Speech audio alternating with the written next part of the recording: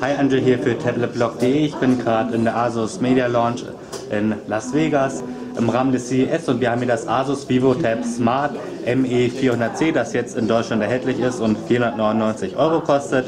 Wir haben hier ein 10,1 Zoll Display, Auflösung ist 1366 x 768 Pixel, normales IPS-Display. Ähm, hier drin steckt der Intel Atom Clover Trail Prozessor, 2 GB Arbeitsspeicher und äh, 64 GB Flash-Speicher.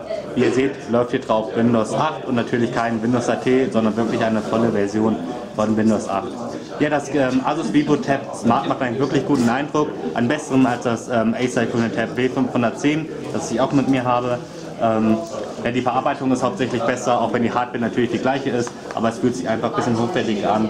Das Gehäuse ist aber trotzdem aus Plastik. Ähm, gut, gehen wir mal ganz schnell um das Tablet herum. Äh, wir haben hier leider keinen Port für eine Dockingstation, dafür aber einen Micro-USB-Anschluss, einen Power-Button, mal schauen, was sich hier hinter verbirgt. Offenbar noch ein Micro-USB-Anschluss. Ähm, dann haben wir hier Audio, einen Ausgang, so eine Wippe für die Lautsprecher, eine Kamera auf der Rückseite mit einem LED-Set. Und ja, das war's eigentlich. Als Zubehör gibt es so ein Smart Cover, kennen wir schon von Apple so ein bisschen.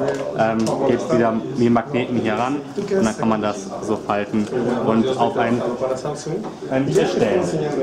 Ups, wenn es denn richtig hält. Egal, machen wir gerade nicht. Dazu gibt es auf jeden Fall noch eine Bluetooth-Tastatur.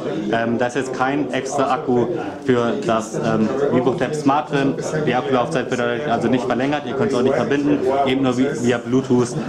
Drin befindet sich natürlich trotzdem ein Akku eben für die Tastatur selber, für den Rest jedoch nicht. Ja, das ist das ASO VivoTab Smart ME400C auf der CES Las Vegas. Vielen Dank fürs Zusehen.